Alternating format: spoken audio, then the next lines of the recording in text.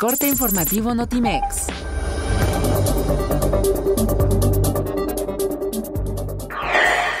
El presidente de México, Enrique Peña Nieto, llegó a Guatemala para cumplir una visita oficial de dos días, en la que se reunirá con su homólogo Jimmy Morales para evaluar temas de la agenda bilateral.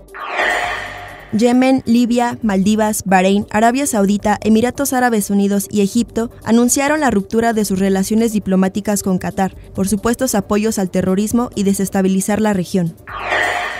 El titular del aceido, Alonso Israel Ira Salas, afirmó que la ficha roja que emitió la PGR permitió la detención de Roberto Borge Angulo como probable responsable de operaciones con recursos de procedencia ilícita.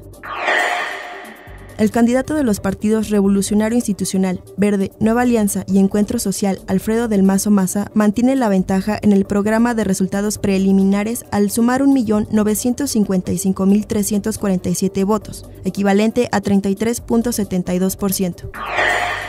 La pelea entre el boxeador mexicano Saúl Álvarez y Yanadi Golovkin de Kazajistán por el Campeonato Mundial Mediano se llevará a cabo el 16 de septiembre en la ciudad de Las Vegas, Nevada, destacó el presidente y jefe ejecutivo de Golden Boy Promotions, Oscar de la Hoya. El actor estadounidense Tom Cruise se encuentra en México para promocionar su próximo filme La momia, el cual se estrenará el próximo 9 de junio en las salas de cine mexicanas.